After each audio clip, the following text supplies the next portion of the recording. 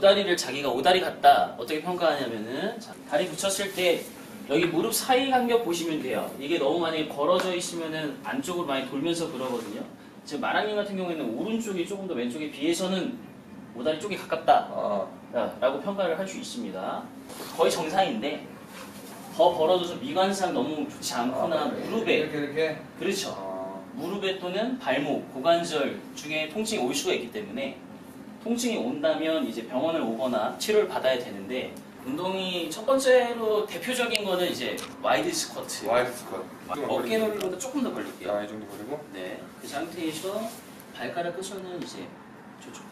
네. 좀 아까 살짝. 네, 그렇죠. 그 상태에서 무릎선이 두 번째 발가락. 아, 그런 느낌으로. 네, 천천히 가볼게요. 천천히 이렇게 이렇게 내렸다가 유지, 유지. 2초 유지했다가 자 다리 힘으로 그대로 올라가시는 쭉. 어, 이렇게 올라가는 거예요. 그렇죠. 그때 여기 내전근에서 가장 많이 아, 들어가셔야 그렇죠.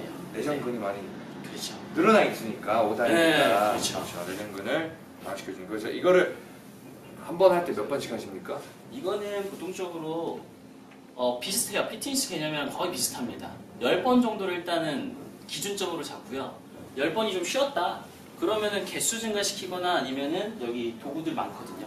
여기서 더 어려운 과제로 하게 됩니다. 고무줄도 감아도 되지 않습니까? 됩니다. 그렇죠. 네, 그럼요. 세라밴드를 감아서 네. 저항을 시키면서 그것도 그렇죠. 그래서 총 3세트 정도? 3차트 정도. 네, 10개씩 일주일에 한 3번 하면 됩니까? 그렇죠. 일주일에 3번 정도 하시면 됩니다. 자 그리고 또 하나 또 뭐가 있을까요? 어, 이거는 많이 알려지지는 않았는데요. 어, 어, 오다리가 되면은 이게 보통 고관절이 X다리도 그렇고 오다리가 되면 보통 내외전이 되거든요. 음, 이렇게 네, 내외전이 되고 이게 바깥으로 빠지고 이것도 내외전 되거나 외외전 되거나 어, 아, 보통 그렇게 되는데 보통 거의 대부분이 내외전 되세요. 그래서 지금 할 거는 외회전 운동이에요. 음, 외회전 네, 외회전 반대로 그렇죠. 그래서 내회전 안쪽으로 모여 있는 거는 좀 여기 많이 풀어주셔야 돼요. 다리를 한번 붙여보세요. 이렇게 네, 이거는 이제 여기 아래까지는 고정. 음. 이시고요. 무릎 펴볼게요. 이렇게 하게 되면은 보통적으로 다 붙고요. 오다리이신 분들은 다리 피, 펴보세요. 그러면 이게 쭉 펴지고 벌어지거든요. 음, 그래서 여기 내릴 땐 붙고 여기는 원래 붙고 이렇게 올리려고 할 때 다 벌어져요. 그래서 이게 그거 이때 이때 내외전이 들어가는 건가요? 내외전이 그렇죠. 예. 그리고 올라올 때 내외전이 더 심해지면서 그렇죠. 더 예, 이렇게 되니까 그러니까 이게 올라가면서 이렇게 돌아가니까 그렇죠. 오케이. 네, 그래서 이거를 교정을 어떻게 하냐면은 만약에 운동을 한다. 그럼 무릎을 구부리셨다가 유지하시고 자 필 때 여기 대퇴골이 바깥쪽으로 도는 느낌으로 쫙 쥐어짜면서 펴주고요. 아, 쥐짜면서 그렇죠. 아, 그럼 굉장히 엉덩이 쪽에 힘을 그렇죠. 많이 여기 막 뒤에 그렇죠. 꽉 네, 이렇게 꽉 쥐어짜요. 말 그대로 네, 그렇죠. 그냥 고정. 그 속에 있는 이 내- 그렇죠. 내면의 내외전. 근육을 그렇죠. 어, 이렇게 빡 지금 빡인데 대박입니다. 아. 깜짝 놀랐어요. 깜짝 놀라죠? 네. 이런 깜짝 식으로. 네. 두 가지만 해주셔도 충분히 내 회전에 대한 거는 잡으실 수 있어요. 어 근데 이거는 진짜 뭐 오다리 교정이더라도 네. 내가 봤을 때 지금 등분도 굉장히 부하가 많이 들어가서 그렇죠.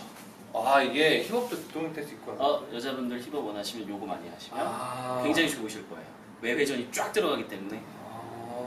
아 진짜 네, 괜찮네요 토크도 들어가기 때문에 맞습니다. 어 기분 좋 이거는 3세트로 한 몇 세트 이거는- 아, 3세트로 몇 개씩 하면 될까요? 이건 좀 힘들어요. 그래서 처음에는 개 수 정하지 마시고 그 느낌을 먼저 알아야 돼요. 일반인들은 잘 몰라요. 그 느낌을. 배우지 않으면. 이 느낌이 좋은데 이걸 몰라? 그렇죠.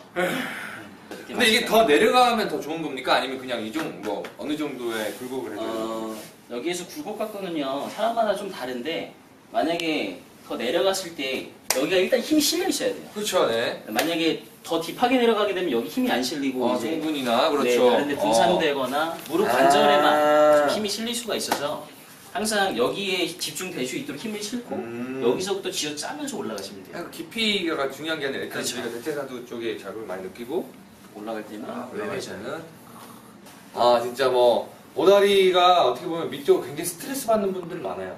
그렇죠. 남성들은 뭐 그렇다 치더라도 그래도 여성분들 스트레스 많이 받으시고 아, 많이 받습니다. 네. 이런 걸로 좀 도움이 되셨으면 하겠습니다. 정말 또 감사드리고요. 네네. 동탄 시티 병원 화이팅.